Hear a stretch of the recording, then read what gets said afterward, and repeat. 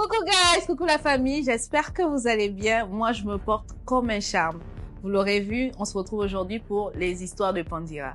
Vous savez déjà que sur ma chaîne, je parle de mes histoires. Quand un homme sort avec moi, il doit savoir que si ça s'est fini bien ou ça s'est fini mal, je vais venir raconter ici.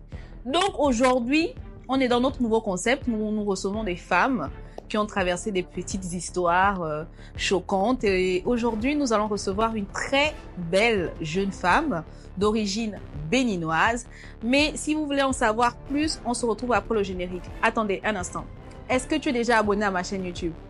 Tu n'es pas abonné, hein? Et puis tu regardes avec tes grands yeux comme ça, tu, tu me regardes et tu n'es pas abonné. S'il te plaît, mon amour, clique sur euh, le bouton abonnement et clique la cloche de notification. On se retrouve juste après le générique.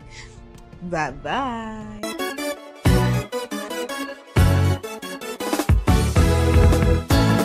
miracle ici, oh mon ami, viens, oh, viens. Y'a miracle chez moi, ma chérie, viens, oh, viens. Y'a miracle ici. Coucou guys, nous revoilà et nous recevons la belle Osnel. Osnel, bonsoir ou bonjour? Bonjour Panzera, comment tu vas? Je vais très bien et toi? Ça va super bien. Osnel, parle-nous de toi. Qui est Osnel? Alors, Osnel, c'est une jeune femme entrepreneur euh, et commerciale aussi. Oui. J'entreprends dans, le, dans la droguerie, c'est-à-dire que je suis dans la parfumerie et je suis aussi dans la vente des bijoux en acier inoxydable. Donc je suis le pigeon à chaque fois que je viens à Cotonou. Je n'ai pas jamais sans acheter cinq parfums. Très bien. Alors, Osnel, nous te recevons sur notre plateau pour notre rubrique spéciale gourmet. Osnel, est-ce que tu as déjà eu un gourmet d'abord? Oui. Qui pique? Qui fait mal? Très pimenté. Parce que quand on te regarde, Osnel, tu n'es pas le genre de femme qu'on donne gourmet. Tu, as- tu es un peu béni de Dieu, hein Non, j'en ai eu Tu en as eu? Pas mal. Parle-nous de ce gourmet. Alors, je vais, mon gourmet, je vais te remettre dans le contexte. D'accord. Alors, je vais le surnommer. pas- Dragobert. Pourquoi pas Alors, j'ai rencontré Dragobert il y a de cela maintenant sept ans, je dirais. Et euh, je te remets vite fait dans le contexte, d'accord? Il faut dire que à- en cette période, j'étais assez jeune encore. Donc, euh, j'étais éprise de lui. J'étais folle amoureuse de, de cet homme que j'ai connu grâce à mon frère. D'accord? Et euh, déjà, c'était quelqu'un que je voyais à la télé. OK C'est pourquoi je ne te dirai pas. C'est mieux. Et ça a été une grande joie pour moi de savoir que mon frère le connaissait. Donc, il nous a présenté. En vite fait, bon, on a commencé par se parler. D'accord? Et très vite, les sentiments sont partis. Donc, moi, j'étais follement amoureuse de lui, mais lui voyait un peu la petite gamine euh, folle amoureuse dont, en fait, euh, euh, on, on peut abuser et tout. Mais tout s'est quand même bien passé. Je l'ai côtoyé pendant un mois seulement, mais je pense qu'il était un peu fatigué de moi parce que je montrais un peu trop. Tu sais que quand les hommes, tu, tu leur montres que tu, tu es un peu trop à fond, ils te font chier. Donc, c'était ça. Et en un mois déjà, il était un peu fatigué, en mode euh, d'accord. qu'on- Donc tu étais collante, quoi. J'étais très collante, par Ah contre. oui. Très collante. Donc, euh, comme ça, j'ai digéré, mais vraiment pas facilement. Et ça m'a fait mal. Et voilà, on a perdu contact. Mais non, je reviens sept ans après. Ça, c'était sept ans Il y a sept avant. ans, voilà. je- Maintenant, il y a sept ans après. Voilà.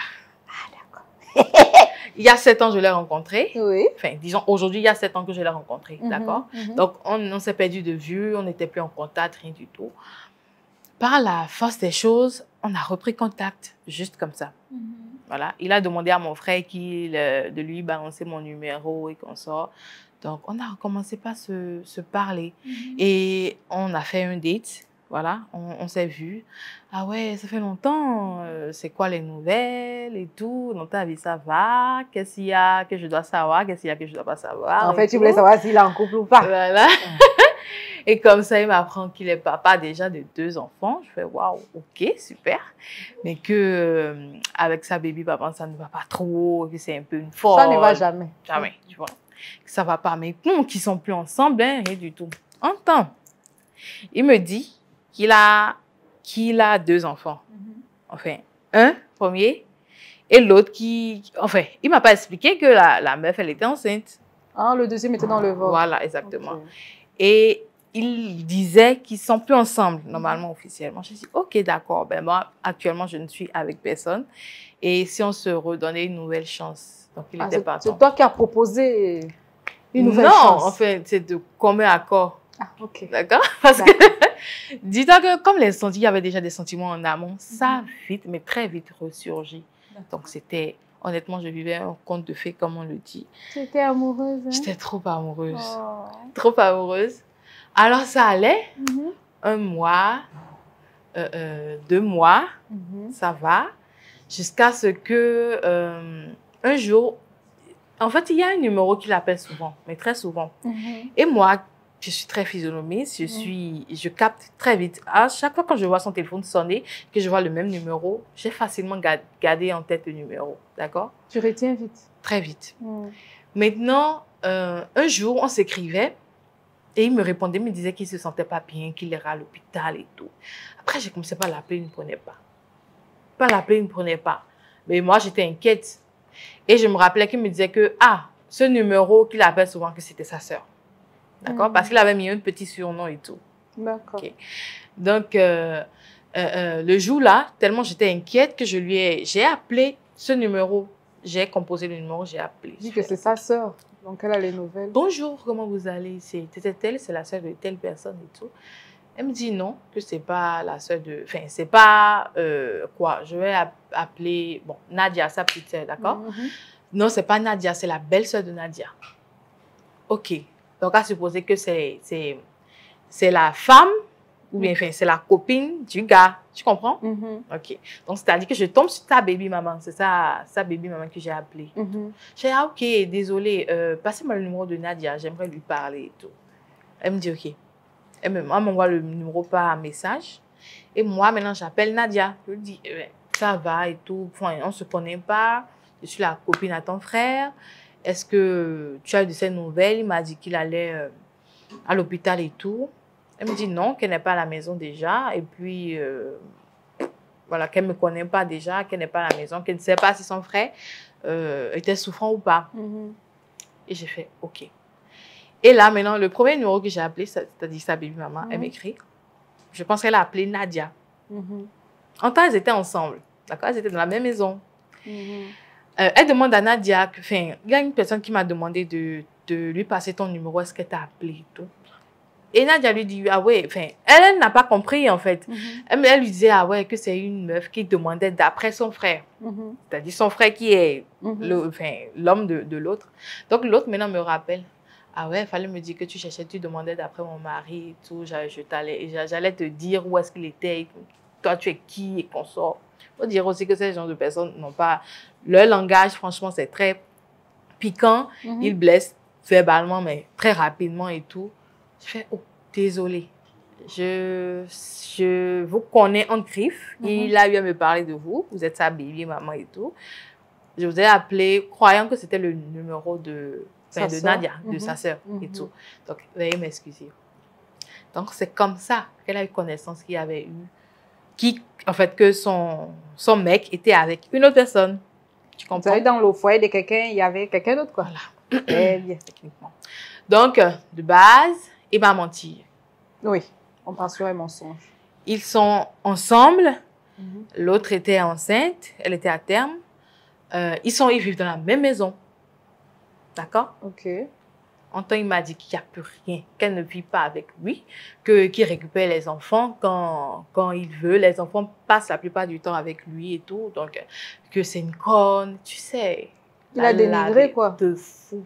C'est une droguée et tout. J'ai pris ça comme ça. Donc, ça allait.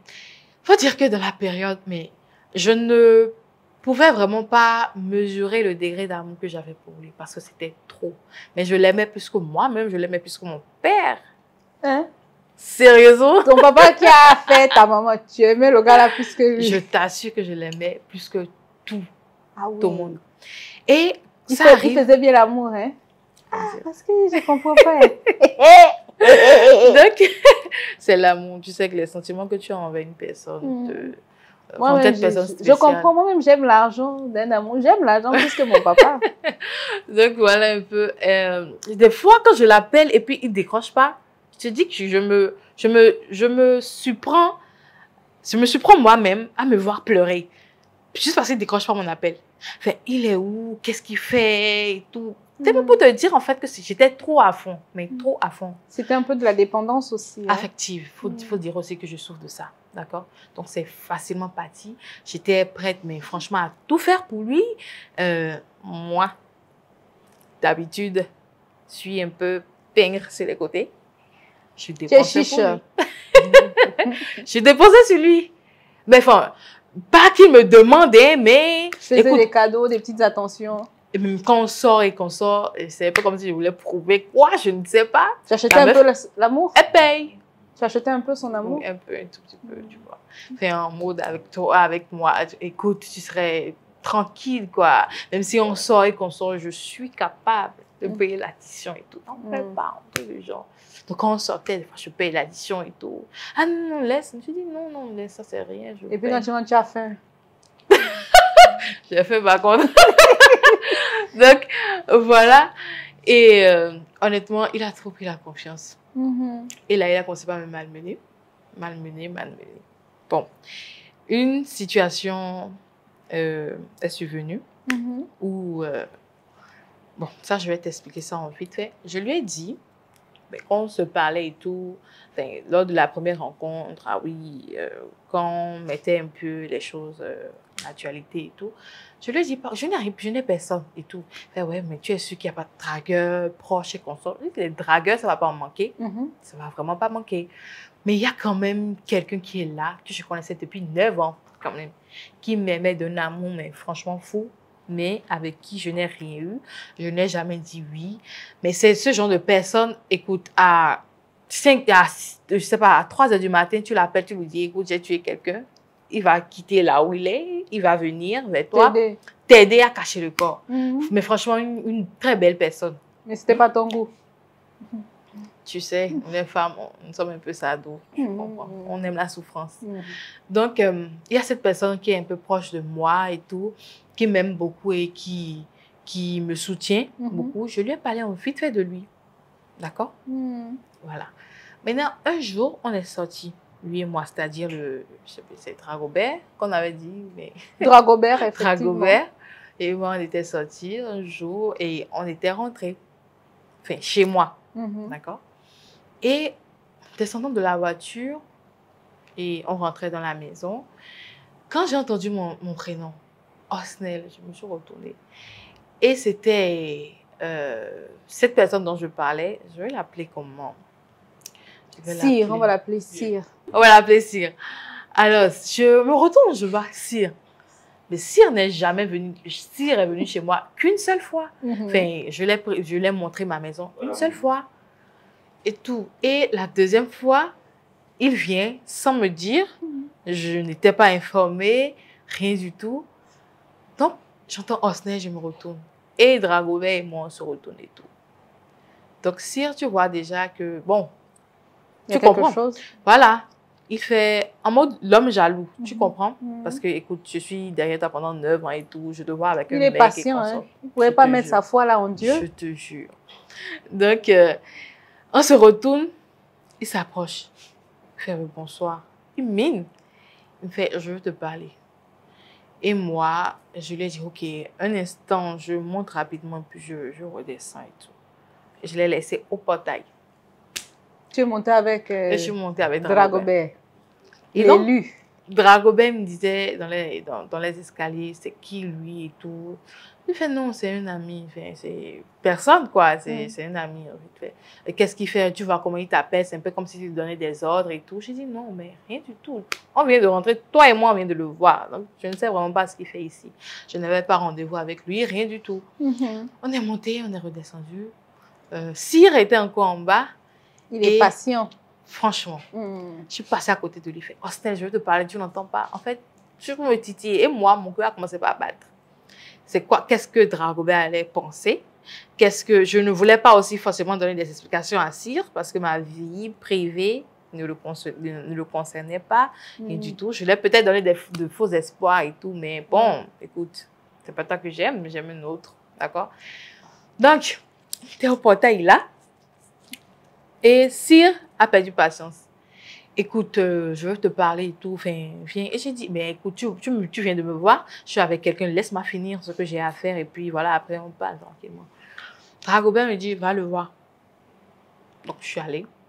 Cyr me dit, ah ouais, c'est comme ça maintenant, depuis un certain temps, tu me parles plus, euh, on ne se voit plus, et euh, je comprends maintenant pourquoi. C'est parce que tu as un homme dans ta vie, qu'on sort, qu'on sort. Je fais, déjà, qu'est-ce qu'il y a? Enfin, Le problème, il est où si j'ai un homme dans ma vie? Comme Je le réponds comme ça, parce qu'il est en étant comme à la paix. Je vis mon compte de fait avec quelqu'un. Ne, Avec mari de quelqu'un d'autre. Très bien. ne viens pas... Ne viens pas jouer l'emmerdeur. Tout. J'étais en mode euh, défense et consort. Oui. Dragobert, lui, là-bas, il perd patience. Il vient nous rejoindre. Il salue Cyr. Mm. Ah oui, coucou, comment vous allez et tout? L'autre répond tranquillement. Dragobert demande à Cyr, vous sortez ensemble. Cyr le regarde, il lui dit, euh, demandez-lui, posez-lui la question, c'est-à-dire posez-moi la question. Tu es bien placé pour répondre. Regarde, ça s'est passé en deux secondes, mais je regardais Dragobert, je regardais Cyr, mais, mais- j'ai fait, mais vous êtes sérieux? Tranquillement, et puis, euh, comment dire, Dragobert il se fâche, je fais, ok, d'accord, moi je vous laisse tranquille. Il rentre dans la voiture, démarre la voiture, et puis ça va. Mais bah, j'ai même pas eu le temps de crier son nom et qu'on C'était au portail et il y avait des gens qui nous regardaient aussi. Donc c'était un peu, euh, comment dire, indisposant, tu Mhm. vois. Et Cyril vient me dire, ah ouais, Osnel, pendant toutes ces années, c'est ce que tu m'as fait, tu me fais maintenant, tu me nagues limite à cause d'un homme et tout. Merci beaucoup. Osnel, merci beaucoup, franchement. Je dit, tu as fini. Parce que moi, en fait, mon cœur battait la chabade. Celui que j'aime vient de partir, il est fâché contre moi. Il y a une situation et tout. Ben écoute, lâche-moi la grappe et puis continue, quoi. Et il voulait trop tergiverser. J'ai fermé le portail, je l'ai laissé là. Je suis montée. J'ai commencé par l'appeler. Il ne prenait pas. J'ai commencé par l'appeler. Tu appelais de. Hein. Et quand il a décroché, il va crier dessus, ouais, laisse-moi tranquille. Il a commencé par m'insulter. J'ai dit, mais calme-toi, attends, je t'explique. Il ne voulait pas. Il m'a proprement insulté. Il a raccroché. J'ai pris ça comme ça. Mais honnêtement, cette nuit, je n'ai pas dormi. Je n'ai vraiment pas dormi. Il m'a laissé de longs messages, m'a insulté. Et wow. Ok, j'ai pris sur moi. Honnêtement, le manque de respect, c'était, c'était un peu trop facile pour lui. Mais je prenais ça sur moi. Mais ça, c'est, rien. L'amour quoi, tu pardonne vois. tout. Bon, j'ai sollicité l'aide de mon frère. Vu que c'était par son biais que je l'ai connu. Mhm. Écoute, règle-moi cette situation, s'il te plaît. Pas lui. Il y a eu telle situation. Je lui ai, je lui ai expliqué ça et tout. Et voilà. Il a dit à mon frère de ne plus le contacter, non, qu'il ne veut plus parler d'Osnel, mais rien du tout. Je te dis, attends. On, on- il y a eu cette situation aujourd'hui. hein? Mhm. Et puis, trois jours après, j'aurais appris en coulisses parce que euh, je connaissais ces, les Dra Dragobert, je connaissais euh, l'un de ses, de ses cousins, Mhm. je connaissais ses cousines et tout, donc on était en contact. Et ce sont, ce sont eux qui me donnaient peut-être, qui me donnaient des nouvelles Des de- informations de l'autre des côté. informations de l'autre côté, exactement, Mhm. parce qu'ils étaient dans la même maison, tu Mhm. vois.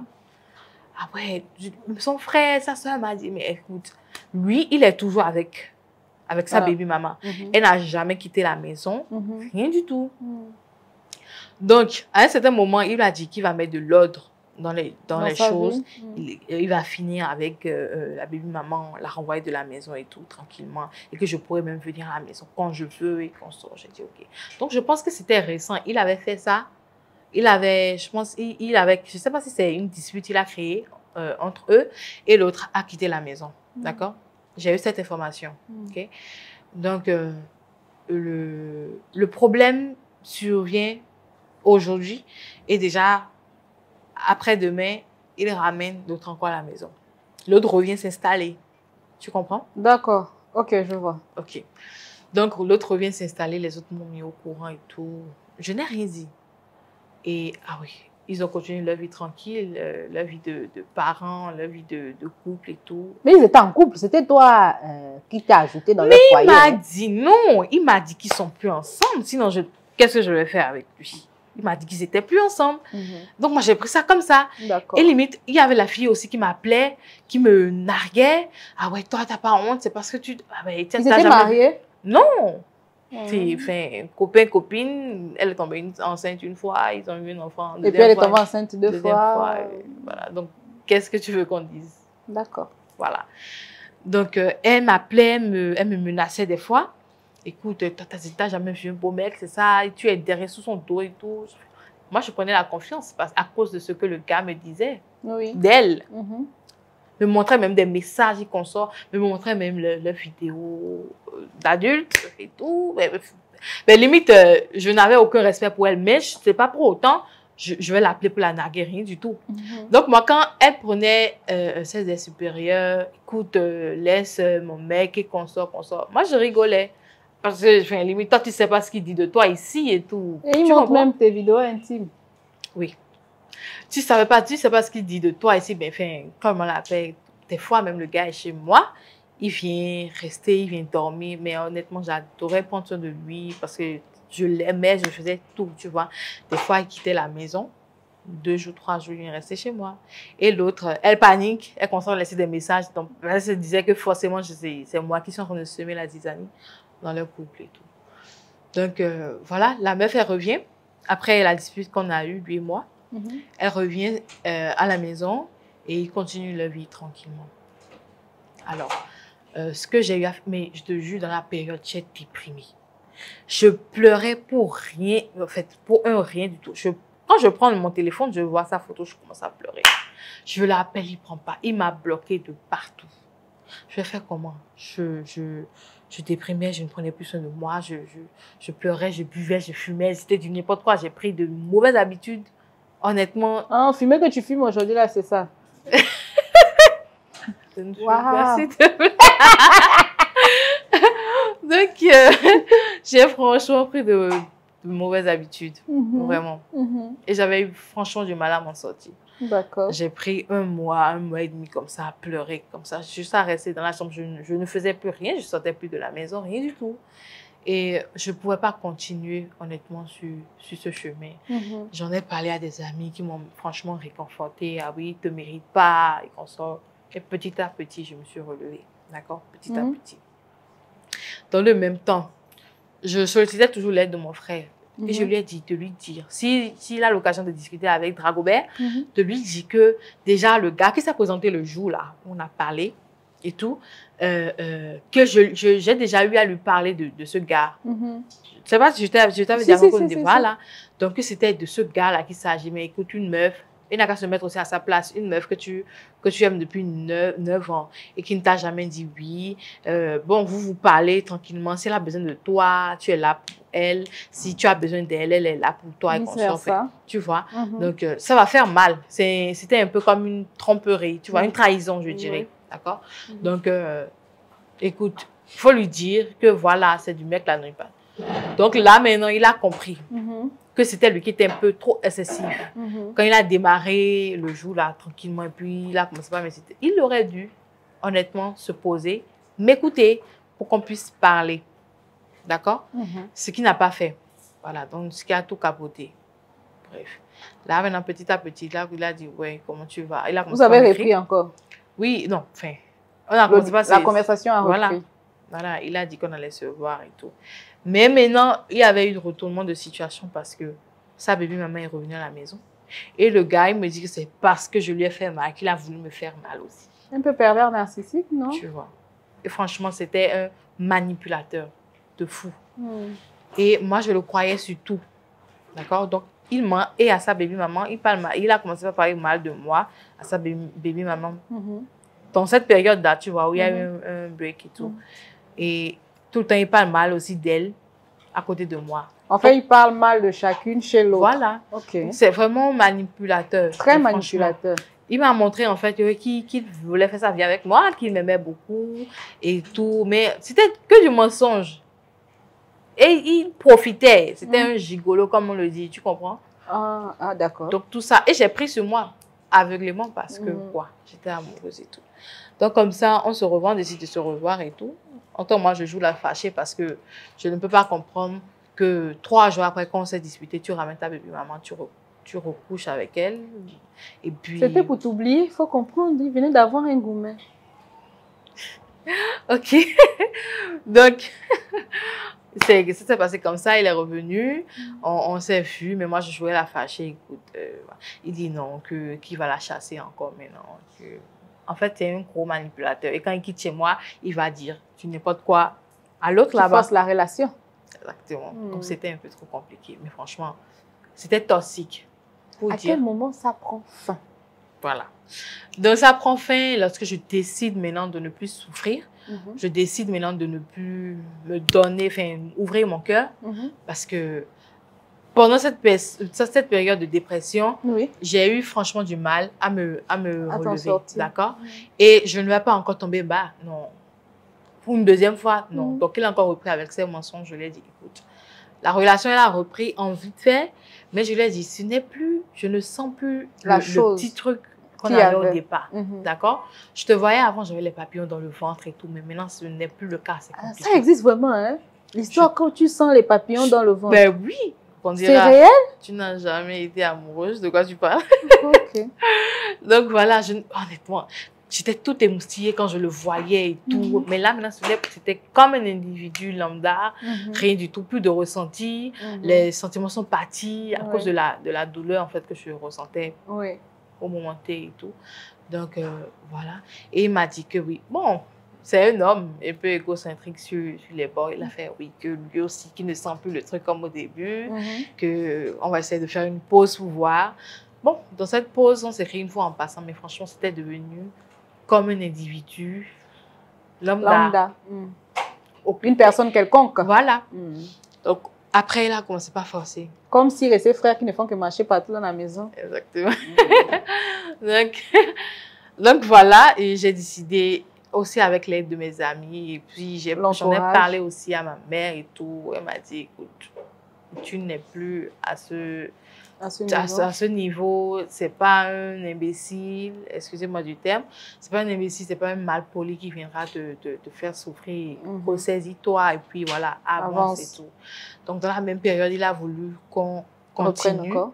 Et tout. Et puis, je l'ai observé parce que moi, je suis observatrice et tout. Je ne me suis plus donnée parce que je me suis, je me suis mais, totalement renf- renfermée, d'accord?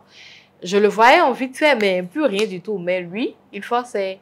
Écoute, est-ce qu'on peut être comme avant? Est-ce que, est-ce que, est-ce que... À un certain moment, j'ai dit stop, c'est bon. J'ai souffert. Mais j'ai souffert deux fois parce que tu te rappelles, Mhm. la première fois, il m'a bras, comme on dit. À la seconde fois, il y a ce sept ans après, tu reviens encore, tu me fais plus, plus mal. Écoute, je ne vais pas attendre que tu m'achèves? D'abord, avant de dire stop, donc, je me suis décidé un beau jour comme ça de lui dire écoute, c'est bon. On a eu une dispute aussi. Là, là maintenant, tu connais. Il a commencé à m'insulter. Oui, d'ailleurs, même telle chose, d'ailleurs, même telle chose. Et moi, mais je lui ai dit vérités. Et jusqu'à ce jour, je l'ai bloqué de partout. Mhm. Que ce soit sur Snap, sur WhatsApp, euh, appel euh, local, rien du tout. Je l'ai bloqué. Et lui et sa baby maman, parce que sa baby maman aussi dans le Oui, même temps. tu étais en relation avec ta rivale. Elle continue aussi de me lancer des, des, des pics. Écoute, euh, je vais t'apprendre, je vais te voir dans la ville et puis je vais t'apprendre comment on respecte les chances. Des menaces de mort limite. Donc, je les ai tous les deux. Tu l'as pas un peu giflé un jour? Non, non. Je n'ai même pas, je n'ai même pas eu l'occasion. Ah, C'est l'occasion que tu n'as pas eu. pas eu. Donc, voilà un peu ma petite histoire. D'accord. Moi, j'aimerais. euh, Donc, déjà, on a compris que ce qui t'a sorti de là, ça a été le déclic. Oui. Déjà, de savoir que tu étais dans, un... dans une relation assez toxique Toxique. et que c'était pas bien pour toi. Oui. Et quelle leçon as-tu tiré de cette histoire? Est-ce qu'aujourd'hui, tu euh, recommences le même cycle? C'est-à-dire, est-ce que tu es encore tombé sur des personnes, euh, des pervers narcissiques, par exemple, Non, parce que je dirais que je fais plus attention maintenant. Mais sur sur tes choix plus attention. Et je prends le temps d'observer la personne. Mhm. Et il faut dire aussi que je me suis recroquevillée sur moi-même Mhm. et je ne. J'ai du mal aujourd'hui à m'ouvrir à une personne extérieure. Ou je préfère encore ressortir avec un S, tu vois. Mhm. J'ai peur maintenant de, de faire une nouvelle rencontre, d'accord? Et même s'il y a quelqu'un avec, le, avec qui j'aimerais rester ou truc, je, je ne montre plus comme avant que voilà, je suis fan de toi et qu'on sort rien du tout. Et surtout cette expérience, la grande chose que je garde de, de cette pire expérience, c'est que je ne vais plus jamais donner mon argent à un homme. Quel Voilà. conseil donneras-tu à une femme qui est dans ta situation Mhm. Quel conseil, au- au- au- de par l'expérience par laquelle tu es passée, Oui. si tu as une femme qui a souffert comme toi, Mhm. donne-lui un conseil. Comment elle peut s'en sortir? Qu'est-ce que tu lui diras? Bah, je lui dirais juste que c'est le déclic qui va. Enfin, je sais vraiment que c'est c'est difficile parce Mhm. que tu, c'est- il y a l'amour là et Mhm. tout. Tu ne veux pas, mais écoute, tu vas pas perdurer dans cette situation. Tu vas te tuer. Donc, il faut franchement avoir le déclic. Mhm. Et euh, je prie que ce déclic vienne très rapidement pour que cette, cette femme, en fait, dans la même situation que moi, puisse sortir, puisse dire stop. Parce Mhm. que, franchement, si tu ne te tires pas toi-même de cette situation, personne ne, ne- ne- ne- ne viendra le faire à ta place. Donc, voilà. Alors, j'ai une dernière question pour toi, Orsnel. Crois-tu en l'amour? Oui, je crois en l'amour. Malgré ça, tu crois en l'amour? Oui, je crois en l'amour. Maintenant, s'il y a un joli garçon qui te regarde, qui pique un peu, Oui. tu es libre? Tu es célibataire? Eh. Osnel Bon, tu, as- Bon, j'ai un pied dehors, un pied dedans. Jusqu'à preuve du contraire, je n'ai pas encore de bague au doigt. tu es toujours au rayon. Voilà. Que Personne le meilleur ne- gagne. Que le meilleur gagne. ben, écoutez, c'était un plaisir de t'avoir sur mon plateau. Le plaisir est partagé. Je te souhaite euh, beaucoup le meilleur. Merci. Je te souhaite de détruire la peur. Parce que si tu as peur qu'on te refasse la même chose, malheureusement, tu vas reproduire le même cycle. Exactement. La peur attire ce dont on a peur.